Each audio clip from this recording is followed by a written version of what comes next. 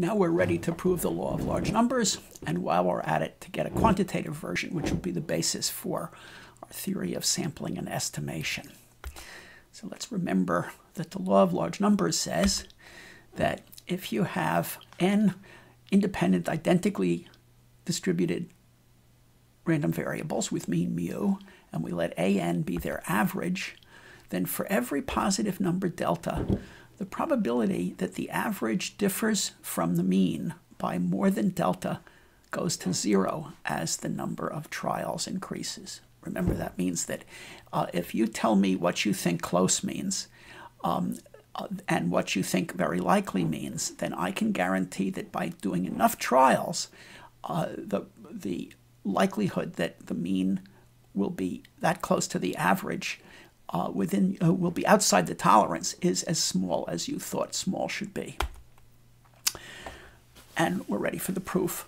But in the proof, there's one extra fact that we're going to use that we didn't explicitly mention, which is that not only are all of these random variables identically distributed and independent, but we're actually going to assume that they have a variance. Now, not every random variable has a finite variance, even if it has a finite mean. In fact, there are random variables that don't even have finite means, and we'll look at them uh, on the last day of class.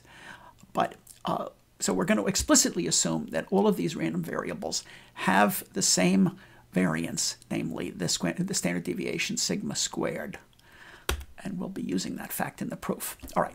Now, the first question to ask uh, is what is the expectation of the average? And the expectation of the average is simply the expectation. Let's prove that. The expectation of the average is, by definition, the expectation of the sum of the r's over n. Um, and by additivity of uh, expectation, that's the sum of the expectation of each of the r's over n. But each of them has expectation mu. So the numerator is n mu and the n's cancel and so and sure enough the average has the same expectation as each of the individual variables, each of the trials.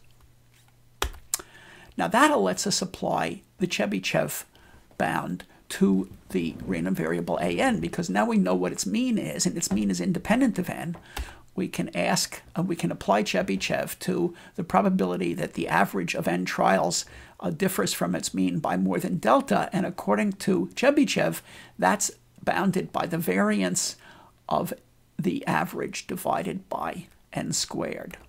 So I will have proved the law of large numbers if I can prove that the limit as n approaches infinity of the variance goes to zero because that means that the right-hand side will be going to 0 over delta squared, namely going to 0, which is what the law of large numbers says. So we've reduced the proof of the law of large numbers to proving that the variance goes to 0 as n approaches infinity, where an is the average of n identically distributed variables with common mean mu and standard deviation sigma.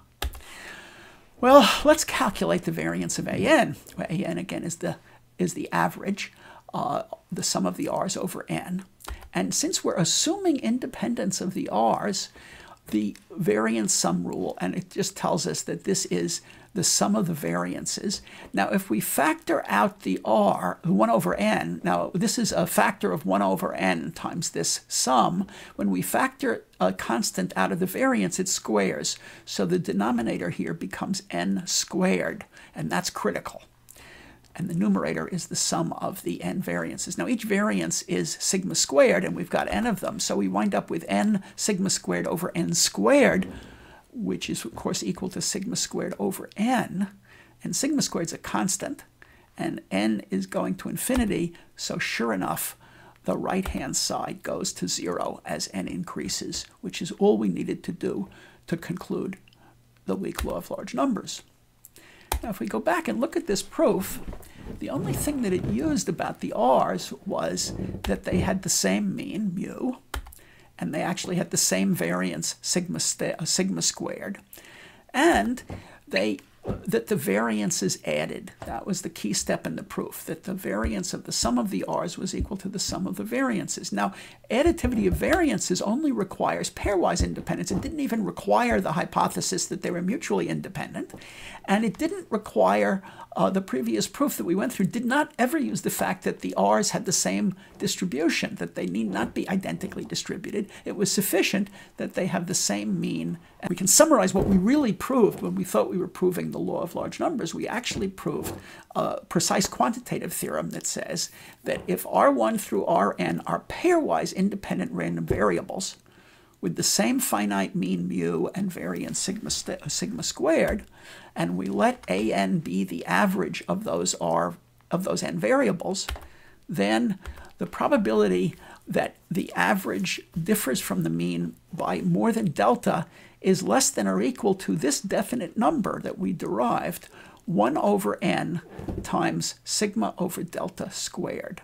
And this was what we previously proved. When we thought we were just proving the law of large numbers, we actually got this much tighter quantitative theorem. Now, what this tells us here is that now, if you tell me what delta is and you tell me how small you want this to be, well, I know what I'm given sigma, and I and you give me the delta that you specified, and since uh, if you tell me how small you want this to be, I will know how big an n to choose.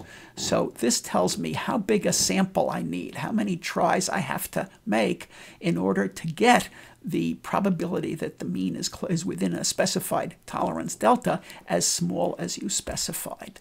And that is our independent sampling theorem. That's why it's called independent sampling, because we now know how big a sample is needed to estimate the mean of any random variable with any desired tolerance and any desired probability, where of course the variance has to be finite, the tolerance has to be positive, tolerance is delta, and the probability uh, has to be less than 1.